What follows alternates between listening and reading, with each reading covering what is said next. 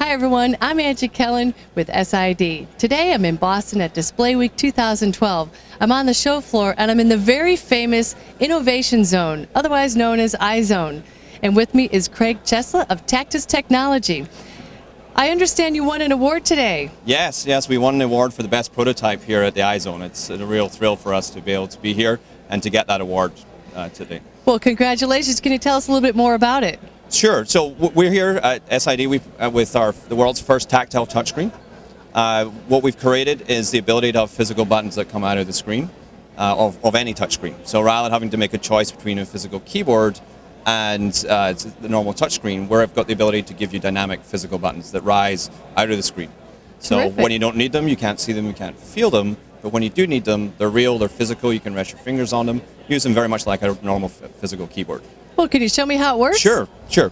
So what we have here is our is our uh, prototype tablet that, we, that was made with our our uh, partner Touch Revolution, part of TPK, and it's based on the, the Android operating system. Where what we've created is a QWERTY keyboard uh, that comes out of the screen. It's controlled by the software, so when you go into the application, the keyboard appears.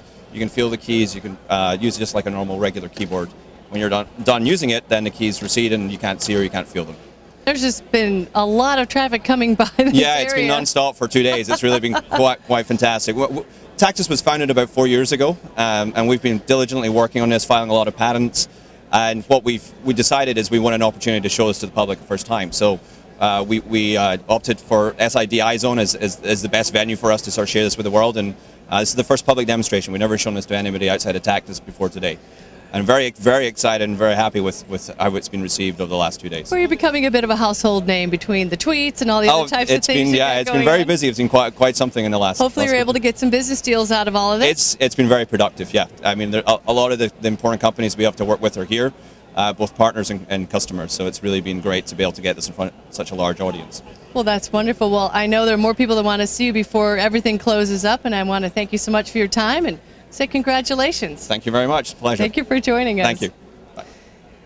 In Boston, Angie Kellen for SID.